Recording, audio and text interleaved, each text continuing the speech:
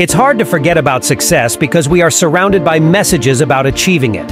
In our culture, success is linked to specific ideas.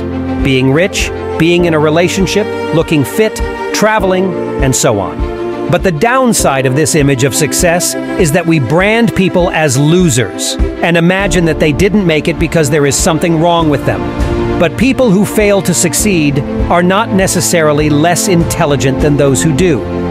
Understanding this can bring unexpected benefits for our own sense of happiness and fulfillment.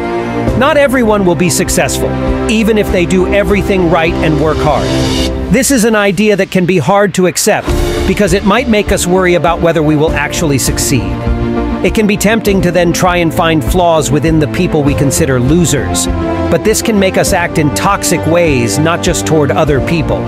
It can also make us blame ourselves.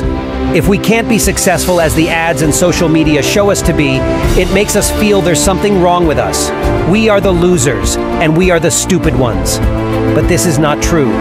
Everybody gets to define what success looks like for them. Some people get the fancy travel destinations, while others prioritize a peaceful life.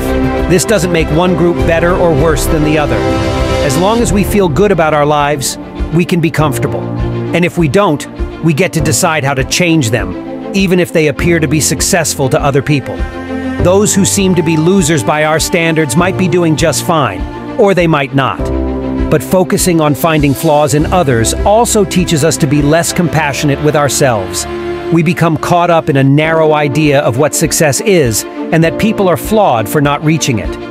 Being more open-minded can encourage us to build our own definition of success and let go of the feelings of guilt and shame that keeps us trapped in a road that might not fit us.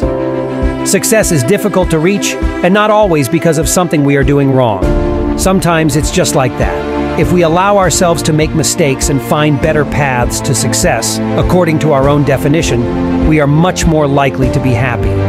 It beats trying to get things society tells us to want and hate on ourselves and others for failing to reach something we might not even want or need.